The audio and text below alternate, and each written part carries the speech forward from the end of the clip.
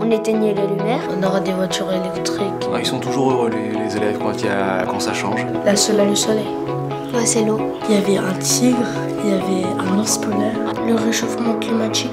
Il n'y aura plus de pétrole. On va faire le- gagner toute la classe. En tout cas, ça sera pas des voitures volantes. hein.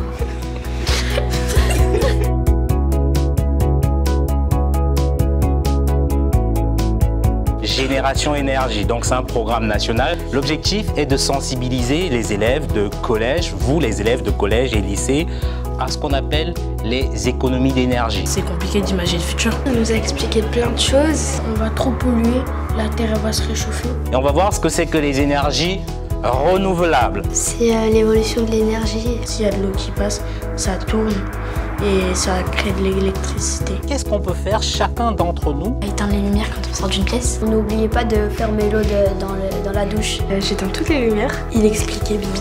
Il nous laissait poser des questions. Il faut que ce soit interactif. On a fait des groupes pour euh, donner des propositions, utiliser des, des transports en commun bien l'eau. Quand euh, le travail de groupe sur les éco-gestes, ça, ça marche bien. Mettre des panneaux solaires, mettre des composts, plus de poubelles. Sachez qu'il y a un jeu concours. En fait, on peut faire des vidéos, des dessins, des poèmes. Là, par exemple, euh, on se filme en train d'éteindre la lumière et sortir d'une pièce. Qu'il y a des lots à gagner. Et si vous gagnez, c'est toute la classe qui gagne par exemple un VTT. Je pense que euh, voilà l'intérêt aussi de Génération Énergie, c'est de semer une graine. Peut-être on va mieux respirer ou mieux vivre.